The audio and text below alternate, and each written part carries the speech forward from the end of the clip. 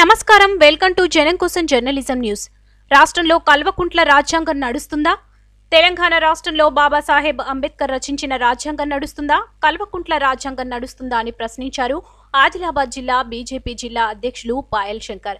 శాసనసభ సమావేశాల్లో ప్రజల గొంతును వినిపించేందుకు ప్రజల సమస్యలను ప్రశ్నించేందుకు ఎలుగెత్తిన గొంతును అధికార దురహంకారంతో నొక్కే ప్రయత్నం చేస్తున్నారన్నారు పాయల్ శంకర్. అసెంబ్లీలో భారతీయ జనతా ఎమ్మెల్యేలను సస్పెండ్ చేయడం కేసీఆర్ దురంకారానికి పరాకాష్ట అన్నారు.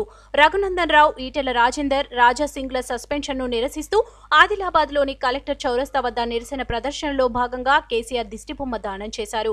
వెంటనే బేషరతుగా ఎమ్మెల్యేలపై విధించిన సస్పెన్షన్ను ఎత్తివేయాలని డిమాండ్ చేశారు.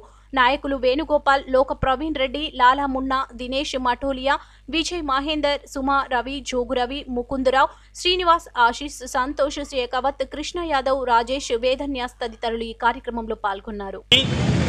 భారతీయ జనతా పార్టీ ముగ్గురు శాసనసభ్యులు అసెంబ్లీలో ఈ రాష్ట్రంలో ప్రజలు పడుతున్నటువంటి అవస్థల గురించి మాట్లాడే ప్రయత్నం చేస్తే ఈ రాష్ట్ర ముఖ్యమంత్రి స్పీకర్ ద్వారా ముగ్గురు భారతీయ జనతా పార్టీ శాసనసభ్యులను ఈ సమావేశాలు పూర్తయ్యే వరకు అసెంబ్లీ నుంచి సస్పెండ్ చేసింది ఒక పక్క ఈ రాష్ట్ర ప్రజలు టీఆర్ఎస్ పార్టీకి ప్రత్యామ్నాయ పార్టీ టీఆర్ఎస్ పార్టీ చేస్తున్నటువంటి తప్పులను ఎత్తి చూపే పార్టీ టీఆర్ఎస్ పార్టీ చేస్తున్నటువంటి ఆగడాలను అరికట్టే పార్టీ కేవలం ఒక భారతీయ జనతా పార్టీ అని ప్రజలు నమ్మి ఎక్కడ ఉప ఎన్నికలు జరిగినా ఆ ఉప ఎన్నికలలో భారతీయ జనతా పార్టీ అభ్యర్థులను ఎమ్మెల్యేలుగా గెలిపించి అసెంబ్లీకి పంపిస్తే ఈ రాష్ట్ర ముఖ్యమంత్రి మాత్రం ఇక్కడ బాబాసాహెబ్ అంబేద్కర్ గారు రాసినటువంటి రాజ్యాంగం నడవది.